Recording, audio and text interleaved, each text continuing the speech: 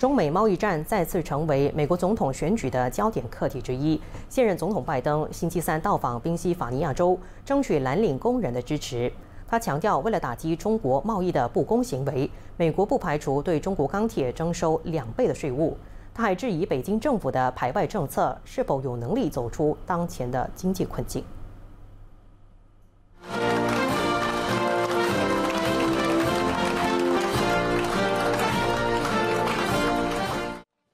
美国总统拜登在当地时间星期三出现在宾夕法尼亚的一场竞选造势活动上，获得钢铁工人热烈欢迎。有“钢铁之城”美誉的匹兹堡也被认为是这场选举中的摇摆区，因此拜登这次特意造访当地，积极争取蓝领选票。Wall Street didn't build America, the middle class didn't build build America, and you guys built the middle class. Unions built it.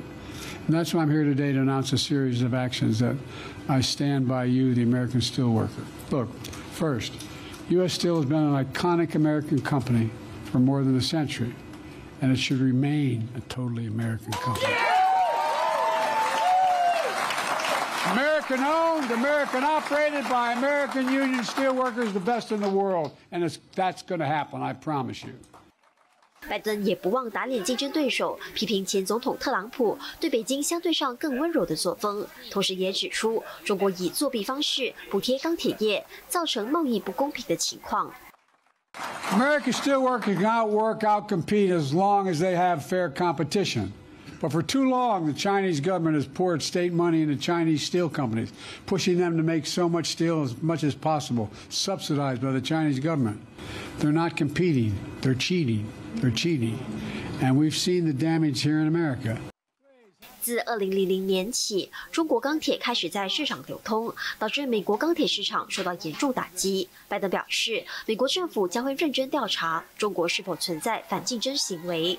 如果发现中方实施不公平的税收，破坏公平贸易，美国便会征收高达两倍的税务。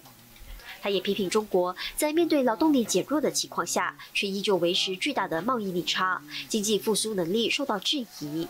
无论如何，他重申，美国的意愿是与中国保持公平竞争，并非发生冲突。拜登也透露，两个星期前与中国国家主席习近平通电话时，就曾与对方表明，基于国家安全理由，因此必须防止芯片技术流入中国。马西社电视综合报道。